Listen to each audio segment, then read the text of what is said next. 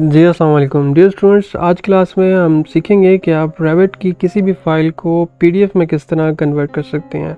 It's going to be a very helpful video for you what you have to do is to simply watch the video and try to observe the things that I am telling you time is money let's get started so dear student Revit में आप कोई भी चीज़ draw करते हैं whether it is two D floor plan three D elevation section sheets and all that सब के लिए जो आपका पी डी कन्वर्जन का प्रोसेस है वो सेम होगा ठीक है? सो so, पी में कन्वर्ट करने के लिए आपने सिंपली टाइप करना है control P okay control P से भी आपके पास सेम प्रोसेस होगा और अगर आप सिंपल यहाँ पे फ़ाइल में जाएँ तो फ़ाइल में आपको एक ऑप्शन मिलेगा प्रिंट का। तो सिंपल आप प्रिंट पे क्लिक करें। जैसे प्रिंट पे हम क्लिक करेंगे हमारे पास इस तरह का डायलॉग बॉक्स शो हो जाएगा और अगर आप सिंपल कीबोर्ड से कंट्रोल पी टाइप करते हैं तो तब भी आपके पास सेम यही वाला डायलॉग बॉक्स ओपन हो जाएगा, ठीक है? अब सबसे पहले हमारे पास सुपर ऑप्शन है प्रिंटर का प्रिंटर नेम तो आपके सिस्टम के साथ जो भी प्रिंटर अटैच हैं, उनके नाम आपके सामने यहाँ पे शो हो जाएँगे। तो यहाँ से सिंपल इसको सेलेक्ट कर लेता हूँ Microsoft print to P okay then उसके बाद बाद हमारे पास दो ऑप्शन है। फ़ाइल का ऑप्शन है फ़ाइल में दो ऑप्शन है, एक कंबाइन का है और एक क्रिएट सेपरेट फाइल्स का है। अब कंबाइन मल्टीपल सेलेक्टेड व्यूज़ का मतलब है, अगर आपके डिफरेंट व्यूज़ को आप एक ही लेवल के अंदर कंबाइन करना चाहते हैं, एक ही टाइटल ब्लॉक के अंदर कंबाइन करना चाहते हैं तो आप कंबाइन वाले ऑप्शन को सेलेक्ट करेंगे। और सेकंड ऑप्शन हमारे पास है create separate file create separate file का मतलब आपका हर लेवल हर व्यू का आप सेपरेटली प्रिंट पी सेव करना चाहते हैं तो आप इसको सेलेक्ट करेंगे, ठीक है? तो यहाँ से हमारा क्रिएट सेपरेट फाइल्स होगा। उसके बाद नेक्स्ट चीज़ हमारे पास जो आती है वो नेम है।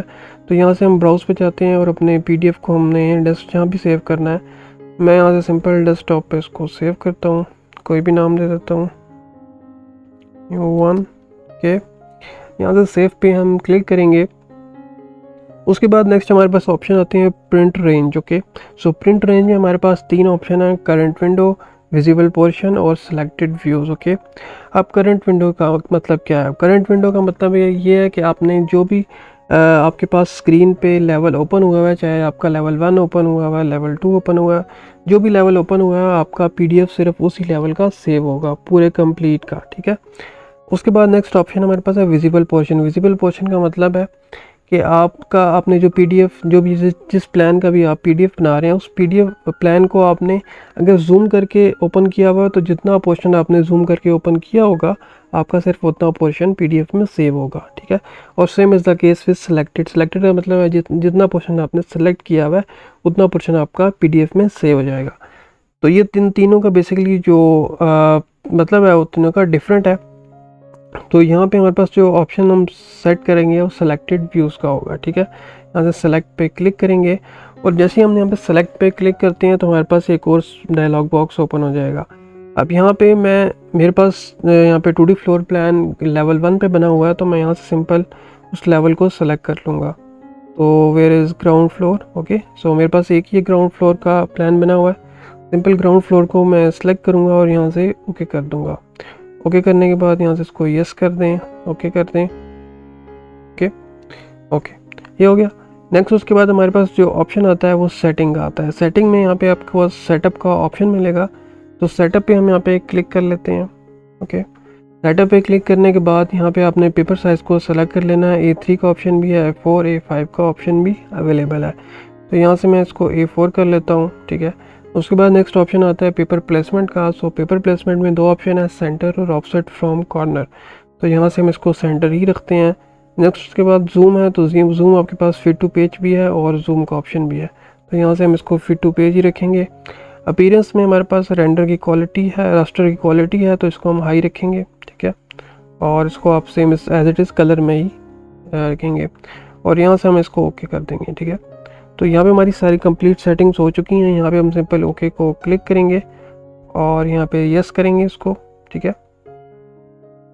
यस करने के बाद हमने अपने पीडीएफ को जहाँ भी सेव करना है अपने सिस्टम में तो वहाँ पे हम इसको सिंपल सेव करेंगे।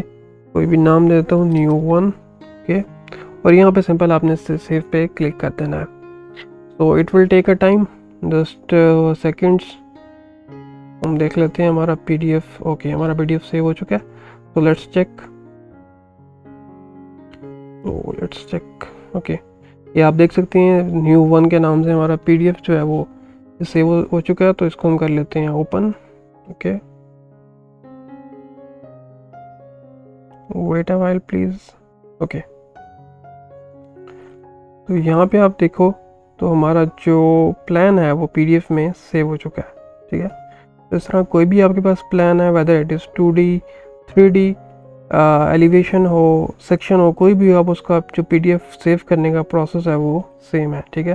तो इस तरह कोई भी आपके प्लान हो, आपने सिंपल उसको कंट्रोल पी करके और सेम स्टेज जिस तरह हम ऑटो के में प्रिंट को सेव करते हैं इसको सेव कर सकते हो। तो I hope guys this video is helpful for you अगर अभी तक आपने चैनल को सब्सक्राइब नहीं किया, जल्दी से कर लें चैनल को सब्सक्राइब मिलते हैं नेक्स्ट वीडियो में, अपना बहुत सारा ख्याल रखिएगा। तब तक के लिए अल्लाह हाफिज़।